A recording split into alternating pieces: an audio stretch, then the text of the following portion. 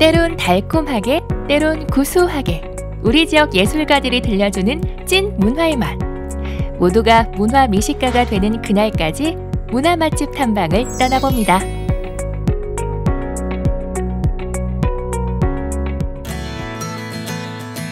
오늘의 메뉴는 늦가을 감성을 충전시키고 귀를 호강시켜줄 클래식 기타인데요.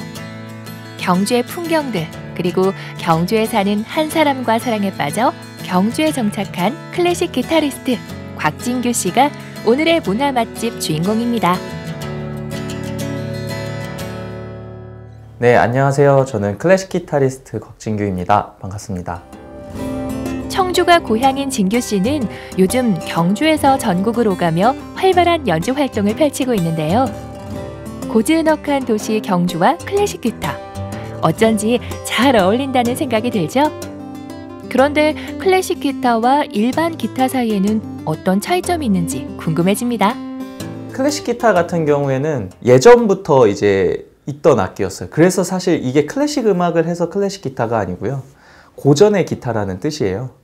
그래서 이제 그 1800년대부터 이제 쓰인 기타거든요. 포크 기타나 이제 통기타 같은 경우에는 그 음악에 더 잘 어울리는 악기로 개량이 된 거죠. 우리가 아는 이제 뭐 컨트리 음악이라든지 뭐 재즈 음악이라든지 뭐 이런 부분에서 있어서 그게 조금 더 이제 장르를 위해 좀 변형된 악기이기 때문에 클래식 기타는 이제 예전부터 이제 작곡돼 온 곡들과 지금 현대까지 이제 작곡된 것들을 다 아우르는 악기라고 보시면 될 것 같아요.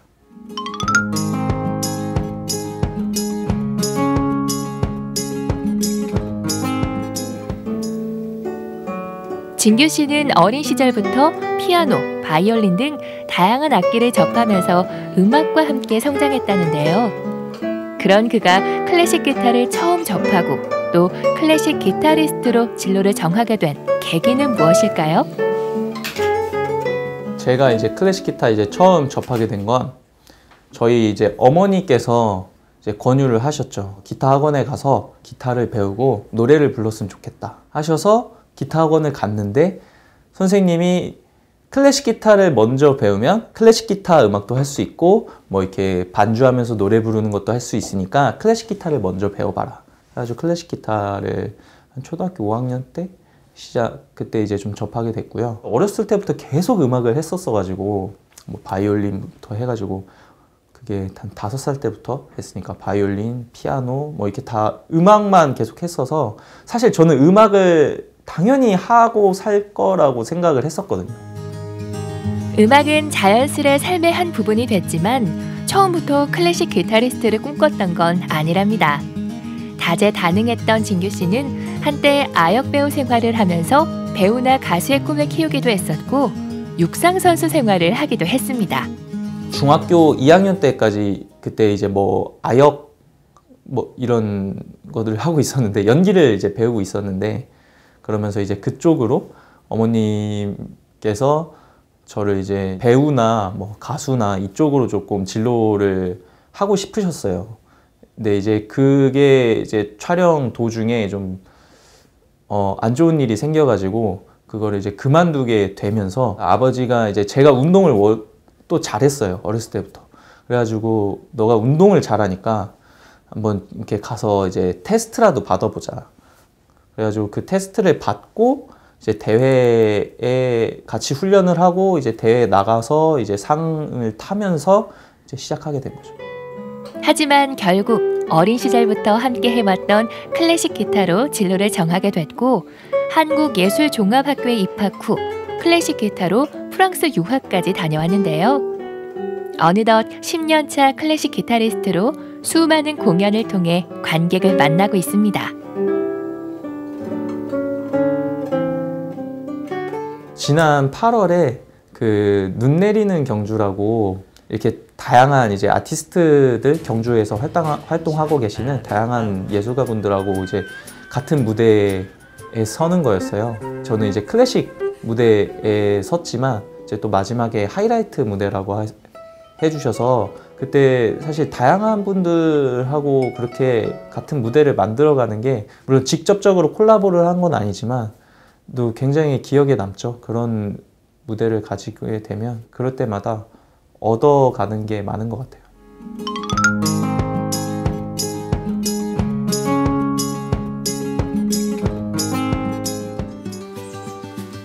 공연이 없을 때는 산책을 즐긴다는 진규 씨.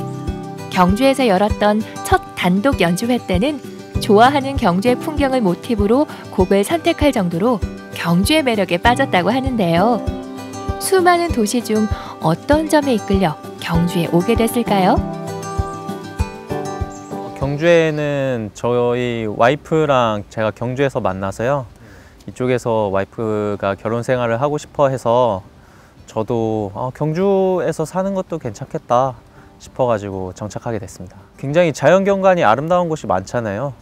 이런 지금 여기 황성공원도 그렇고 뭐 주변에만 봐도 뭐 오릉이라든지 대릉원이라든지 뭐, 뭐 계림숲이라든지 그러니까 풍경들을 즐길 수 있는 곳이 정말 많아서 그게 가장 큰 장점인 것 같아요.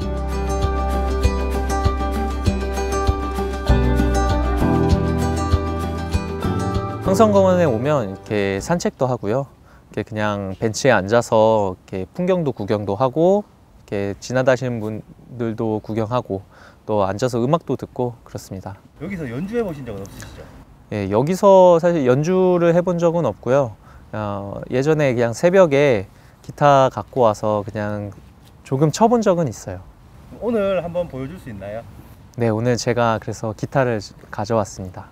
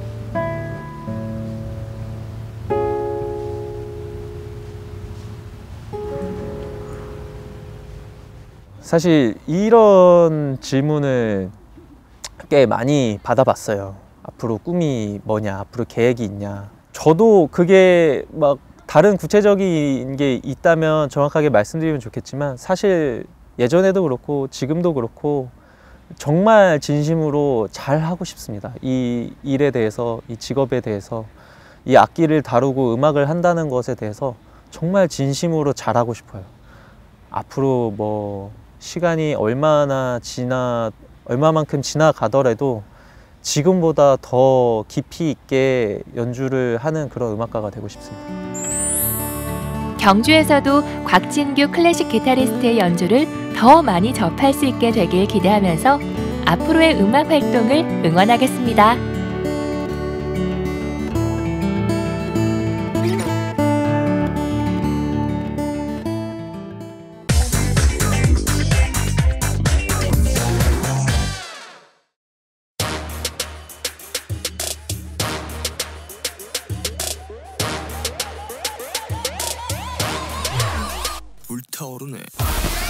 포항에서 다시 희망의 빛을 띄웁니다.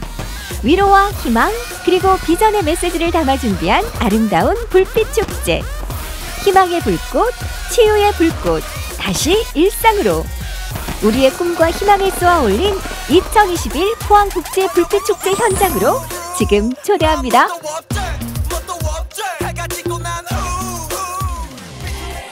해가 지기 시작한 영일대 해수욕장. 코로나로 인해 2년 만에 열리는 불빛 축제의 현장인데요. 방역 수칙을 지키기 위해 사전 예약한 500명만 개막식 관람존으로 안전하게 입장. 우리 모두 이런 축제의 현장 너무너무 그리웠죠. 네, 너무 좋아요. 이 밖에 나오고 날씨도 좋고 아들하고 나오니까 더 너무너무 좋으네요. 아이들 때문에 코로나 시국이어서 많이 못 다녔거든요. 많이 못 다녔는데 오래간만에 이렇게 가족들끼리 맛있는 것도 먹고 사진도 찍고 하다 보니까 너무너무 좋은 것 같아요. 올해로 벌써 17회를 맞이하는 포항국제 불빛축제. 반짝반짝 불 켜진 조형물들이 축제를 실감나게 하는데요. 코로나 시기를 거치며 다시 시작하는 축제를 위해 많은 고민들이 있었겠죠. 올해 축제는 어떤 점들이 달라졌을까요? 기존에 있던 불빛 축제 같은 경우는 이제 온라인으로 진행되는 컨텐츠는 아예 없었습니다. 그래서 오프라인으로만 반드시 참여를 했어야 되는데 이번에 포항 국제 불빛 축제는 그 뉴노멀 시대에 맞게 온라인과 오프라인을 결합해서 하이브리드 형태로 진행을 하게 됐습니다. 그래서 메타버스 포항이라는 새로운 플랫폼을 제작하였고요. 또한 유튜브 스트리밍을 통해서도 축제를 집안에서 편안하게 만나보실 수 있게 준비를 했습니다.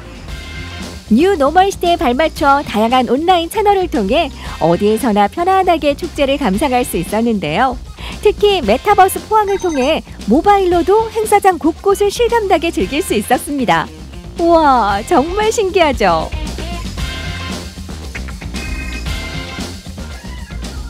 메타버스 포항은 저희가 이번에 새로 구축한 플랫폼인데 어, 메타버스 포항이라는 가상의 플랫폼에 본인의 아바타 3D 캐릭터를 생성해서 영일대 해수욕장을 기반으로 한 축제장을 접속해 보실 수 있습니다. 그 안에서 스페이스 워크, 상생의 손 등 다양한 포항의 랜드마크들을 만나보실 수 있고요.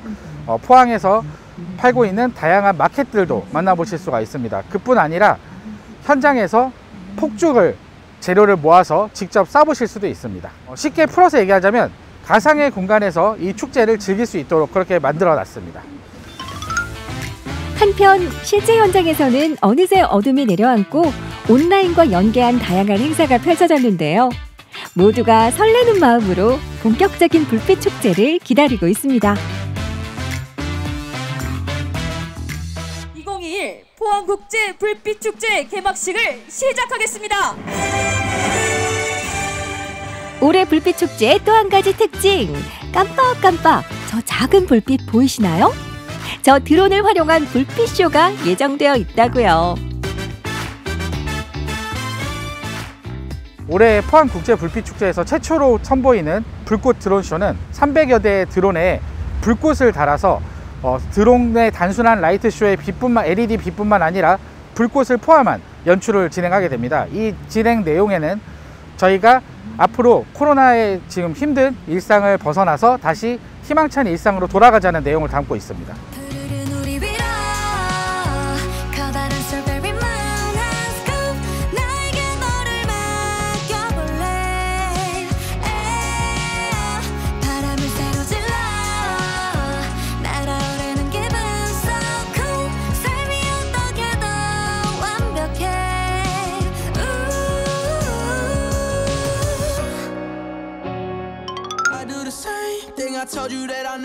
살아 움직이는 듯 다양한 장면을 연출했던 드론 불꽃쇼가 끝나고 화려한 개막 축하 공연과 함께 축제는 점점 하이라이트에 가까워지고 있는데요.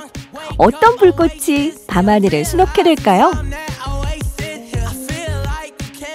여러분 큰 박수와 함께 밤하늘을 수놓은 불꽃 쇼 지금부터 함께 보시죠. 박수 부탁드리겠습니다.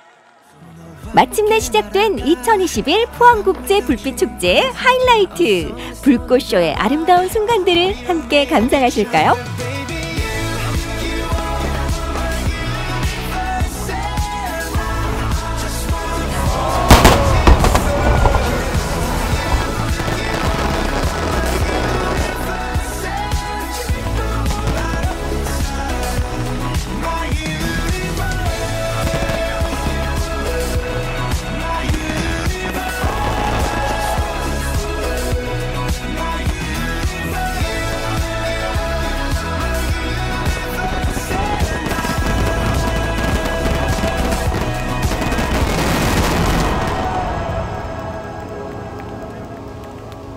축제를 되게 오랜만에 봤는데 좀 자주 왔으면 좋겠고 예, 좀 자주 개최해줬으면 좋겠어요. 되게 예, 기분이 좋네요. 2년 동안의 아쉬움도 날아가고 코로나 때문에 힘들었던 적도 다 그런 그런 기억도 다 날아가는 것 같아서 좋았어요. 예전에 할 때는 이게 뭐 매년마다 해서 사실은 좀 크게 뭐 감흥이 없었는데 한 2년 만에 또 이렇게 갑자기 또 이게 딱 오랜만에 또 오서 이렇게 사람들 막 많이 모임 몰린 거 보고 하다 보니까 소중하기도 하네요. 하여튼 지금 빨리 코로나 맞춰갖고 이런 게 또 계속 이렇게 이어졌으면 좋겠네요. 희망의 불꽃, 치유의 불꽃이 피어 올랐습니다. 다시 일상으로 돌아가 이전처럼 불빛 축제를 즐길 날도 찾아오겠죠. 그때까지 여러분의 마음에도 희망의 불꽃이 사라지지 않기를 응원합니다.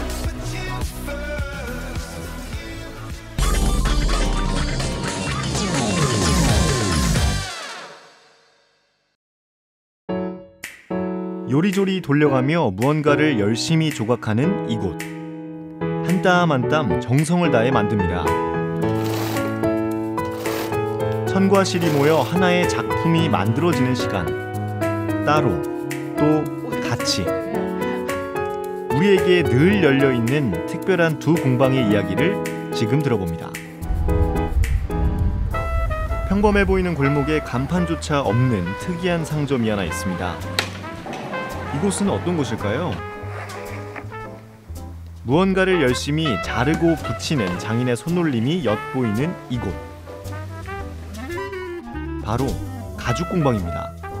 저희 공간이 지금 올 초에 생겼거든요. 3월 달에 처음 문 열어갖고 지금 가죽 작업하고 문구 쪽하고 두 가지를 이제 주로 하고 있는데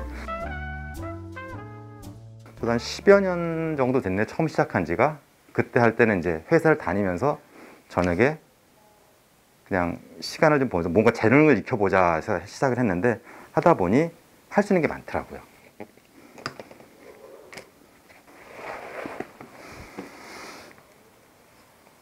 사실 공방이나 이 작업장 개념의 공간들은 딱히 정형화된 그 프로그램이 있다고 볼 수는 없거든요. 그러니까 가능한 걸 다 할 수 있는 거예요. 사실은 저희가 할 수 있는 것들 그러다 보니까 가죽 제품 만들다 그러면 이런 이제 반지갑을 만들거나 뭐 이런 명함 지갑 같은 것들을 보통 만드시려고 해요. 그러니까 눈에 띄는 게 우리 가죽 제품 가장 잘 쓰이는 이제 소- 손에 닿는 부분이긴 한데 이런 것도 하지만 제가 조금 엉뚱한 짓을 한 게 동그란 돌을 제가 사서 돌을 이제 싼 거죠 가죽으로.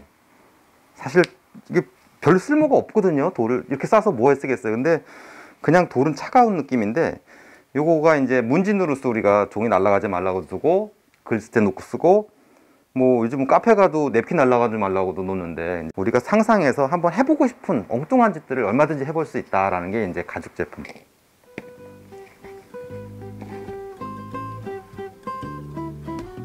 지금 카드 지갑 만들고 있어요. 제가 어려워지는 거는 뭐냐면 바늘 끼기를 잘 안 들어가요 점점. 그래서 이제 지역의 이런 커뮤니티가 좀 발달을 좀 해야 된다고 생각을 하는데 자기 스스로 그냥 자기 일을 해나가는 커뮤니티가 좀 필요한 것 같고 특히 나이가 들수록 그런 활동들이 많이 필요하겠다 생각이 좀 들더라고요. 사실 누구나 다 이렇게 오랫동안 할 수는 없어요 이런 일들을 뭐 저야 일이니까 하지만 이제 잠깐씩이라도 좀 접해보고 이런 걸 이해를 할 수 있으면 좀 좋은 거거든요. 그래서 계속 이렇게 해주는 사람이 있으면 또 관심 갔을 때 가끔 또 찾아와서 뭔가 만들어가고 오래전에 만들었던 사람도 다시 만들고 그런 걸 하는 거죠. 아직 햇살이 밝은 오후인데 갑자기 어디론가 향하는 철호 씨.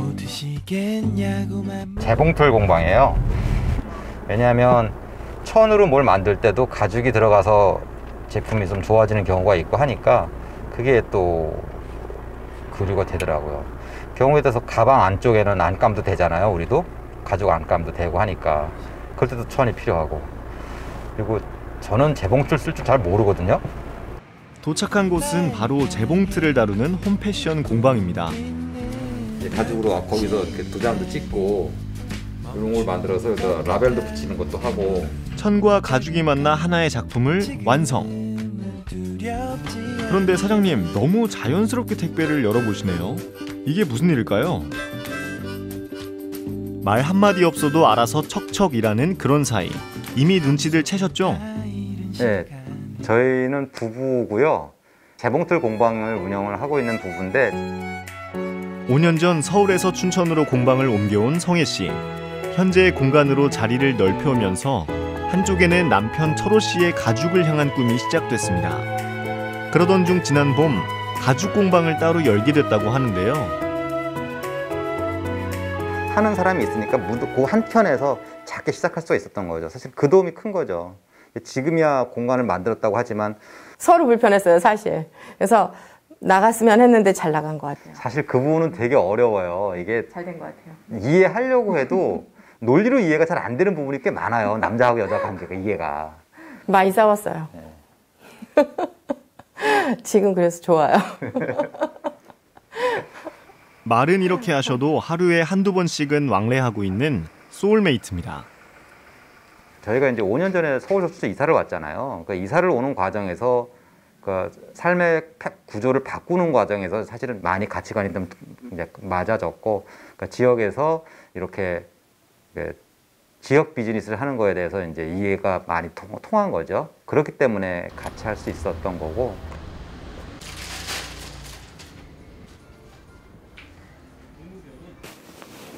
음, 이제 강사를 하다 보면 항상 어디를 가도 똑같은 그 판에 박힌 그런 패턴으로 가르치고 근데 이제 그게 좀 지루하고 보람도 없고 뭐 잘 되지 않아도 한번 이런 조그마한 공간을 갖고 싶다. 그래서 시작을 했어요. 요 리폼을 하셨는데 바지를 많이 모으셨어요. 처녀째부터 입던 면바지를 다 모아 오셨어요. 안 버리셨대. 아까워서. 근데 그거를 쿠션을 만드셨어요. 칼라별로 놓으니까 너무 멋있더라고요. 그 인상 깊었던 것 같아요. 근데 이제 공방은 그런 건 굉장히 자유롭죠. 그래서 남, 나만의 것을 만들어 간다는 것의 묘미겠죠, 아무래도. 그런 분들이 오시고, 어, 독창적이고 창의적인 분들이 많으세요, 굉장히. 나만의 소품을 만들기 위해 가게를 찾아오는 손님들. 아, 지금은 저희 조카가 지금 4살인데 저 발이 커졌다고 언니가 갖고 있는 신발 주머니가 너무 작다 그래서 조카가 좋아하는 그린 색상으로 신발 주머니 만들어주고 있어요. 음, 좋은 것 같아요. 와서 만들고 쌤하고 얘기도 하고 예, 쌤한테는 이제 뭐 고민 상담 비슷하게도 하고 워낙에 인간적으로 잘 해주셔가지고 잘 가르쳐 주시고 개한송 42에 8로 해서 두 개 하라고 그랬더니, 아 하나만 잖아 아, 조카 맞춤이네. 맞아. 조카 해줘야죠. 그 힐링하려고 여기로 오는 거거든요. 네. 네, 여기 오면은 즐거워요, 일단은. 즐겁고, 마시고, 그러니까 마신다는 건 차를 마시고, 차를 마시고, 이제 얘기하고, 웃고, 그러는 와중에 이제 작품도 하나씩 이제 나오고, 네, 그런 거가 좋아서 이렇게 오는 것 같아요, 저 같은 경우에는. 좀 더 소통하는 지역 사회를 만들고 싶다는 공방 부부. 최근에는 춘천의 협동조합을 통해 많은 사람들에게 제품을 선보이고 있습니다. 춘천의 여러 수공예 작가들과 함께 기념품을 만들면서 좀 더 활발한 지역 문화를 만들기 위해 노력한다고 하네요.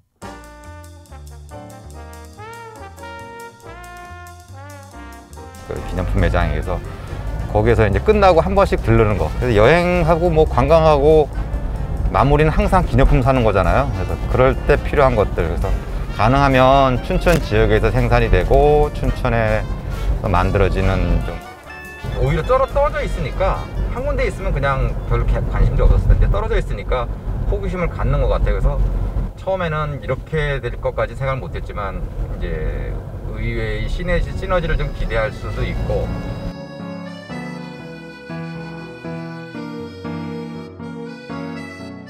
그래서 이제 각자 취향에 맞는 걸 만들어 가시다 보니까 저도 아이디어를 얻고 저는 계속 이런 공방을 할 거고요.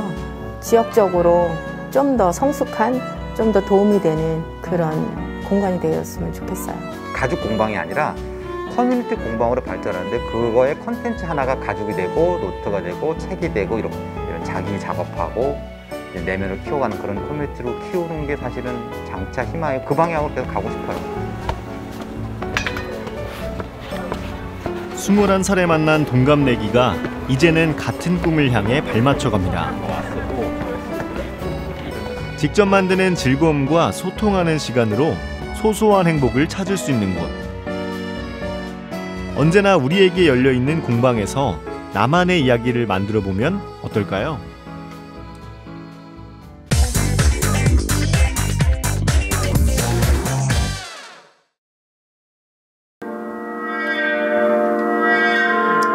예술에 대한 열정을 고스란히 고향에 남겨준 조각가 문신을 위한 음악회가 열렸습니다.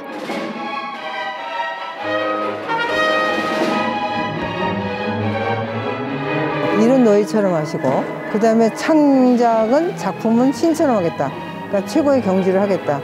그래서 모든 사람들이 아주 좋아하세요. 문신. 그는 예술가들의 예술가인데요.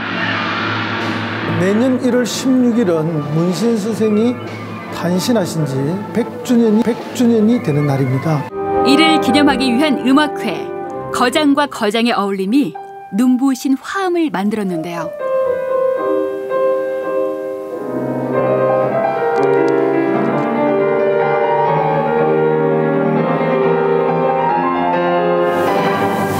따끈따끈했던 그날을 들려드립니다.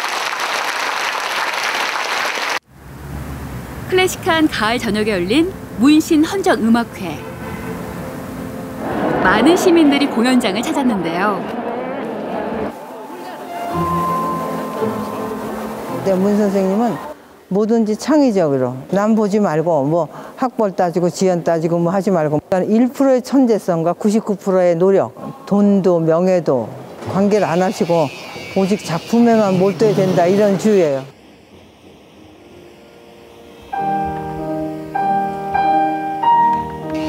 하루하루 열정을 조각한 문신의 삶 자체가 예술이었는데요. 프랑스 정부의 귀화 권유가 있었을 만큼 그의 작품은 세계가 먼저 인정했습니다. 조각 거장을 위해 음악 거장이 뭉쳤다. 창원 시립교향악단 그리고 문신과 인연이 깊었던 피아니스트 백건우가 함께했습니다.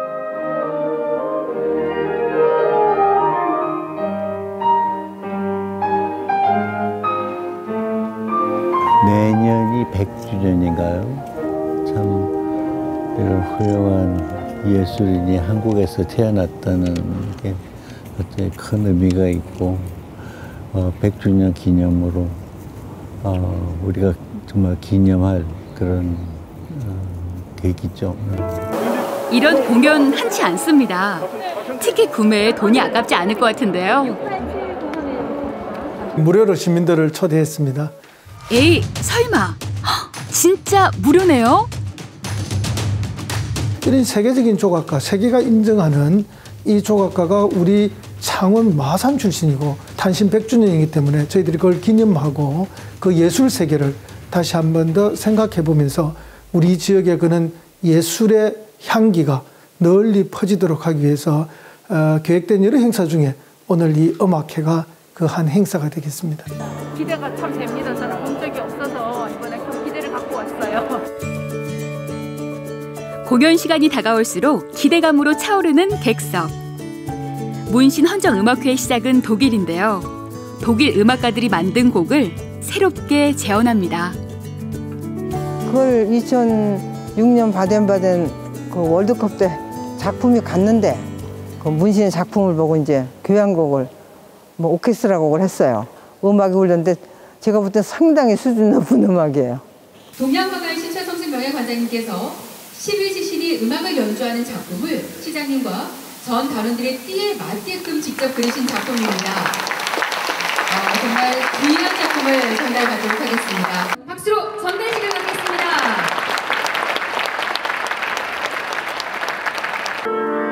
음악회의 문을 연 곡은 안드레아스 케어스팅의 문신 교향곡. 잠시 감상해 보겠습니다.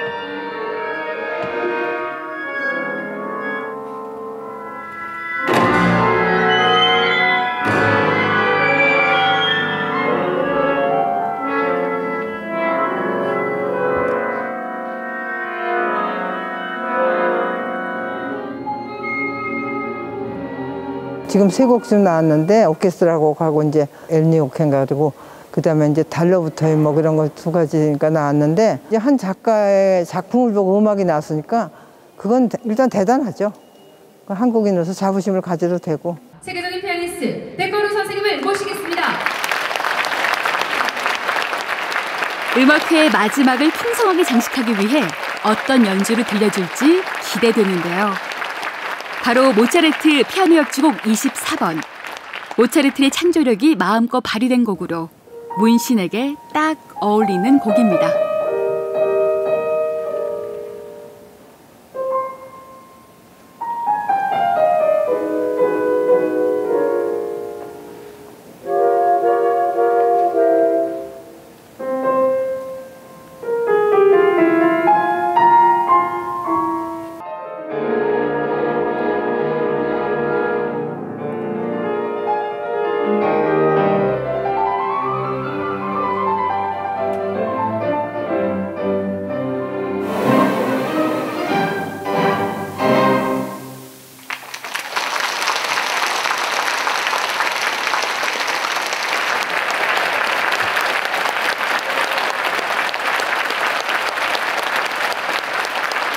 문 선생님은 아직 이제 유, 유지가 남아 있어요. 나의 예술로 이 사회에 이득을 주게 해라. 저도 아주 무모할 정도로 문신 선생님하고 마산에다가 잔디밭에 조각 갖다 놓고 미술관 할 거다 막 이런 뉴스를 많이 보냈어요 MBC하고. 근데 그걸 희망이었지만 그런 희망을 갖고 그 스- 스타트업이라는 게 돈이 없는데 자산은 많은 거래요. 근데 지금 지나고 보니까 제가 그거 한것 같아요. 오늘날 우리 사회에서도 가장 필요로 하는 그런 정신들을 잘 작품으로 규현해 놓았다. 그 작품 속에서 나타내고자 했던 그런 생명과 그다음에 조화와 균형이 에, 우리 보편적 가치가 되었으면 저는 좋겠다 그런 생각을 가지고 있습니다. 문화 예술을 시민들과 나누고자 했던 문신. 그를 기리는 다양한 문화 사업들은 앞으로도 계속됩니다.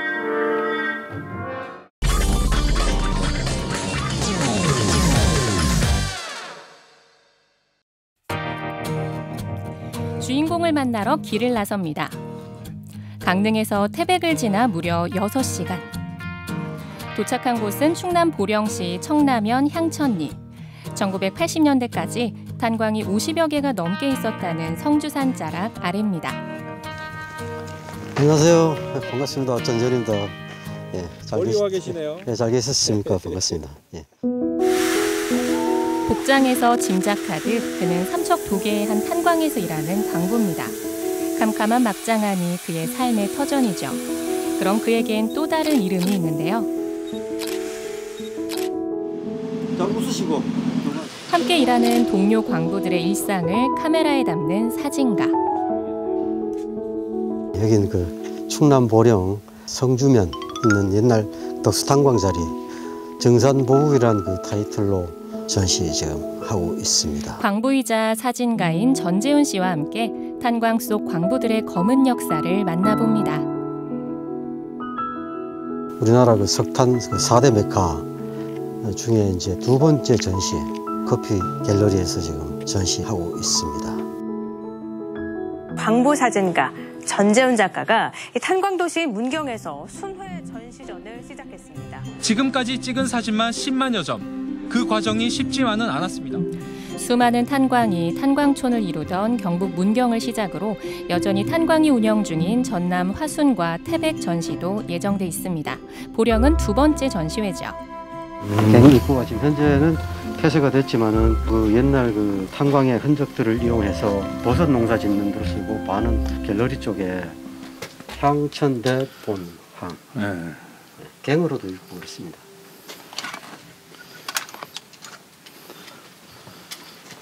어우 시원하다.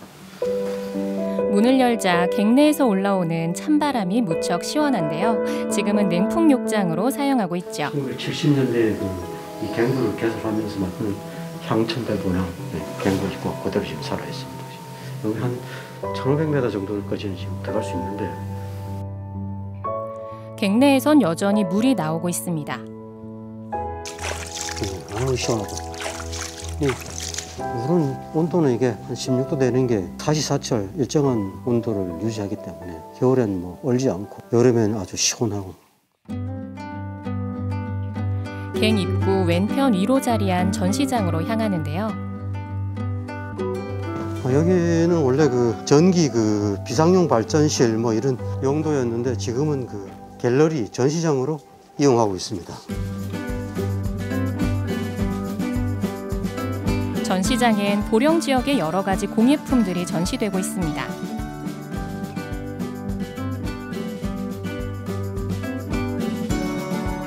전시장 앞엔 옛 변전소 흔적도 남아 있는데요.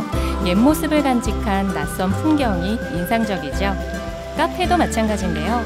갱내에서 흘러나온 물을 이용한 멋진 조경에 건물 자체도 옛 탄광 건물. 탄광의 과거가 곳곳에 새겨진 외벽이 폐광전 흥했던 당시의 추억을 떠올리게 합니다.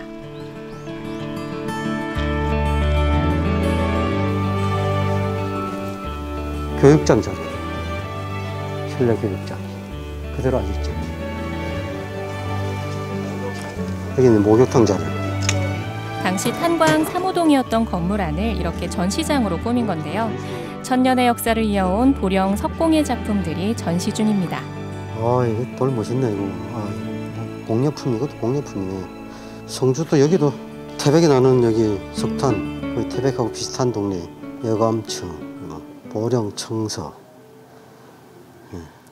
통창 너머 보령시를 상징하는 명산인 성주산의 가을이 물씬 피어납니다.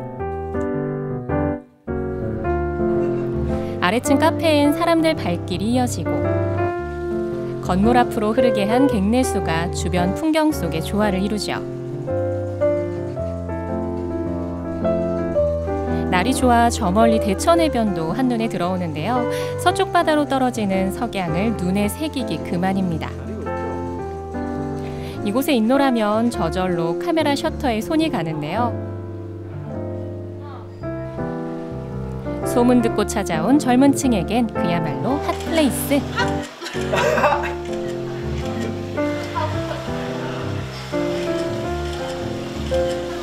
여기가 좀 지역에서 유명한가요? 옛날에 이제 그 광부분들이 교육장이랑 목욕탕으로 쓰시던 곳을 이제 카페로 그대로 살려서 지으신 걸로 알고 있어서 실제로 와 보시니까 어떠신지? 어, 이 분위기 자체를 잘 살려서 카페로 만든 게 되게 괜찮은 것 같아요. 예. 물에 비친 것도 멋지네요. 예쁜 것 같아요. 사진 찍기 참 좋은 것 같아요.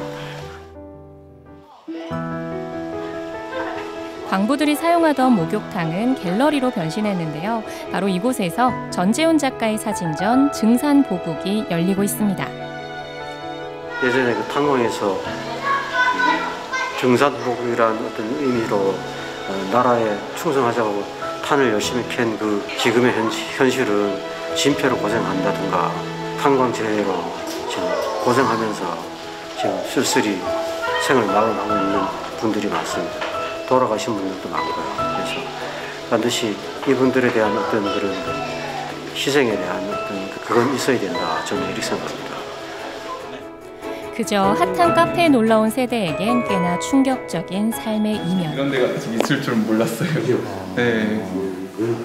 요즘 세대들은 좀 상상도 못하는 거지. 네. 영화로만 봐가지고 다 옛날 사진인 줄 알았는데 이런 거 좀 홍보 좀 많이 하면은 예, 사진 찍다가도 많이 올 것 같아요. 카페랑 잘 어울리기도 해서 모르고 왔지만 발길을 멈추게 하는 광부들의 삶을 담은 사진들. 오래된 거라고 생각해서 막상 다 없애는 게 문제가 아니고 그거를 그 후세를 더 물려줄 수 있게끔 어, 자손들이 볼 때 아 이런 그 선대에는 이런 게 있었구나 이런 시설이 있었고 이렇게 힘들게 살았고 그런 거를 한번 느끼게 해줄 수 있는 그런 공간이 될 수 있는 거를 만들었으면 제가 하는 바람입니다. 인근에 있는 보령 석탄박물관을 찾았습니다. 아, 사진. 아, 이거 제가 만든 그 기록집입니다. 감사합니다. 아유 귀한 자료 주셔서 감사합니다. 석탄박물관에 왔습니다. 1995년 문을 연 보령 석탄박물관은 우리나라 최초의 석탄박물관이었습니다. 그 이후 문경이며 태백에도 석탄박물관이 생겨났죠. 2년 전 새로 리모델링해 손님을 맞이하고 있는데요. 아주 오래된 거는 그 가스 검정기들. 탄광에서 관련 안전관리자로 일하는 전재훈 작가. 아무래도 관련 분야에 눈길이 가나 봅니다. 반찬도 정확하게 나오는 건 뭐 같으세요? 저기 보니까. 그 땀을 많이 흘리기 때문에 염분기가 많은 그 염장류 같아요, 저게. 늘 그가 보아왔고 카메라에 담아온 일상과 다르지 않은 전시물들. 막장 속 시간은 멈춘 듯 그대로네요. 탄광 안도 꽤 그럴듯합니다. 승갱도 여기 이제 일본 예, 일본 말로 のぼり. のぼり. 아, のぼり. 예, 이 のぼり는 광부들이 제일 고생하던 그 막장이 のぼり 막장이라 해서 사고도 많이 났었